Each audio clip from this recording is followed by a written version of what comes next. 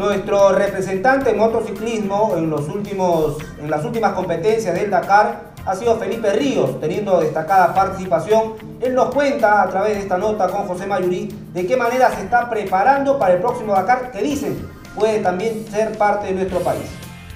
¿Cómo estás? Bienvenido a Enlace Deportivo. ¿Cómo tu experiencia un poquito en el grupo Sococur? ¿Cómo, cómo, cómo te sientes? ¿Cómo te, están tratando? Eh, la verdad que estar en el equipo Sococur, yo ya llevo cuatro años trabajando con ellos. Eh, no son solo auspiciadores, sino son amigos. Son gente de mucha calidad. Eh, la verdad que yo me siento muy contento, me siento en familia ahí.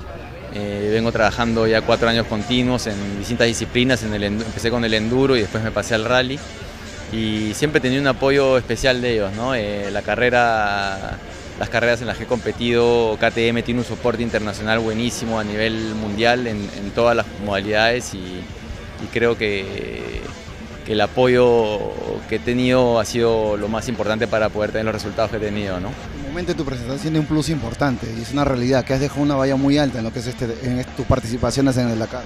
Sí, de hecho eh, me ha ido bien, gracias a Dios. Son carreras complicadas. La carrera es una carrera muy especial por la cantidad de días y cantidad de horas que está sobre la moto. Eh, creo que el resultado ha sido buenísimo, ¿no? Estar entre los 30 mejores ha sido muy bueno.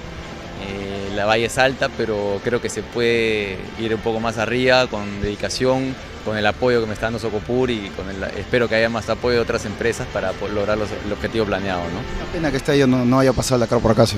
Sí, una pena no solo para nosotros como pilotos, sino para todo el público en general. La CAR creo que es una fiesta del deporte y todos hemos vivido lo que ha sido un espectáculo, ayuda a promover el turismo a nivel mundial, es el país se ve en todo el mundo y además este, la gente que le gusta los fierros pues es un espectáculo increíble. ¿no?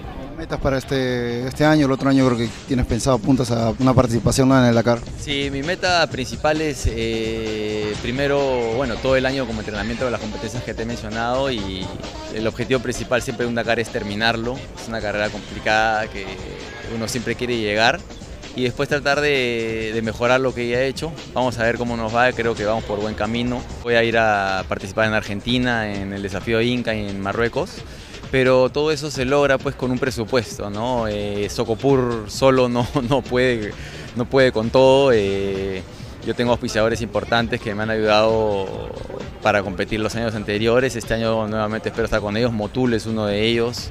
Eh, eh, Gatorade también es otro, Boticas Arcángel, Seba y espero este año nuevamente contar con ellos y con otros más para, lograr el objetivo planeado. ¿no? Un mensaje para terminar, un mensaje que te sigan, que, es lo más pronto que se te viene a donde te pueden ver.